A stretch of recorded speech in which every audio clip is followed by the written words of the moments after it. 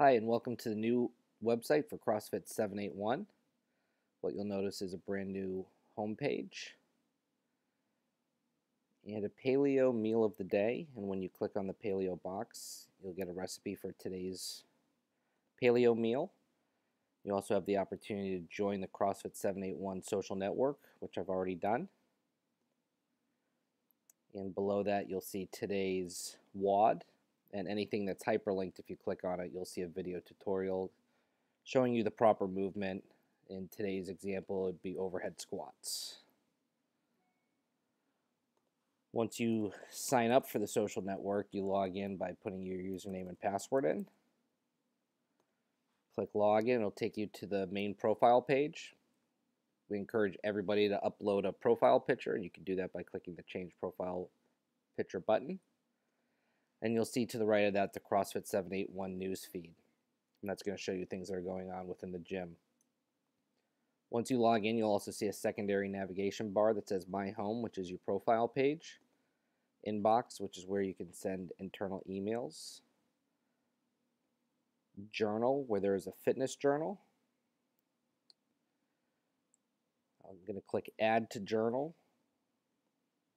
It'll pull up today's WOD. I'm going to click yesterday actually.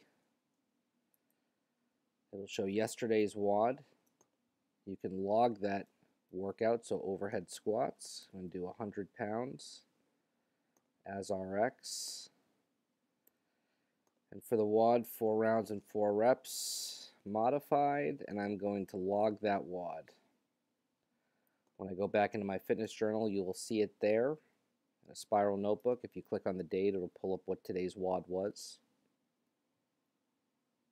Furthermore, you can go to the leaderboard. When I click on overhead squats, you'll see my entry there. If I go to the whiteboard, it'll show you yesterday's whiteboard entries. Whatever journal entries were shared will show up on that on that whiteboard. There's also a meal tracker where you can put in your your food entries. I'll put eggs and bacon, carbs, fat, and protein in grams and submit it. And lastly, a weight tracker where you can put in what your weight is, keep track of that, and also upload a picture so you can keep track of your fitness goals and progress. That is a basic overview of the new website for CrossFit 781.